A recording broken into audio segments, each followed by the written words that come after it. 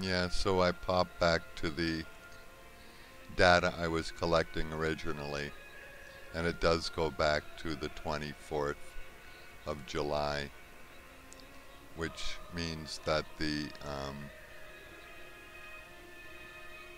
the state data I put in later, after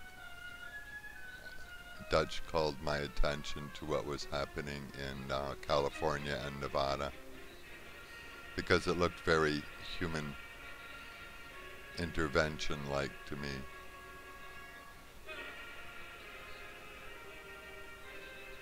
Now this is called Sioux. I'm not sure what that means.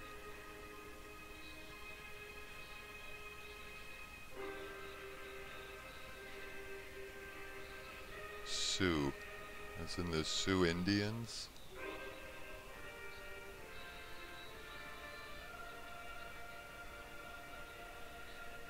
S-I-O-U-X.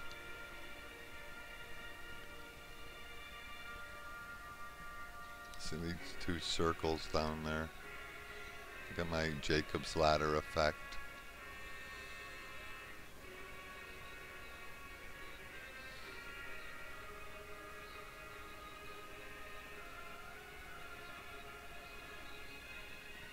Inside of intense storms, I do believe I've watched them vary the size of the circle and keep it right at the leading edge of the storm.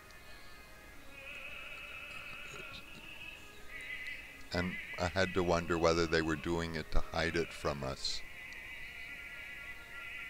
We know we got their attention or the USGS wouldn't have been so quick to comment. Man,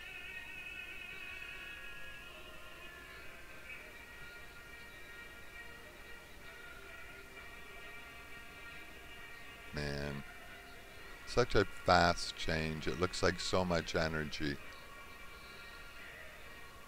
But again, if they're tapping the solar winds,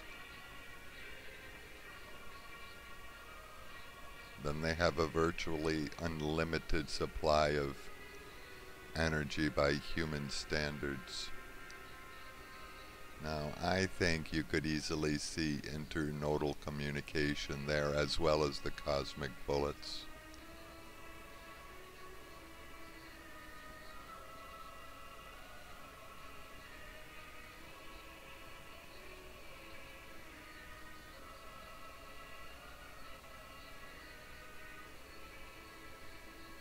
Know that circle?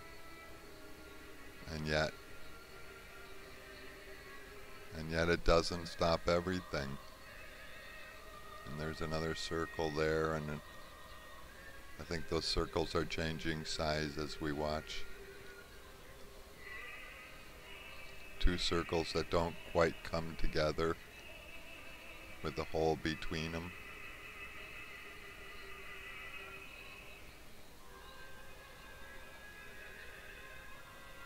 And these lines that's not a very good one, but some of the lines of real clouds, I think, precipitate out of those Jacob ladder type effects.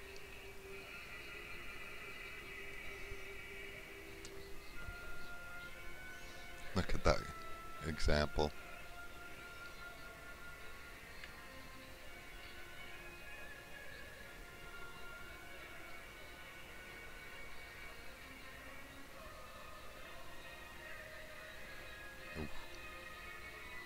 What a cool place to end.